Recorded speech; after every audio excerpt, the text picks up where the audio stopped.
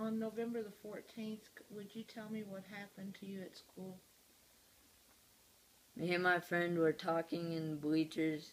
Brandon walked up, said, I'll show you something.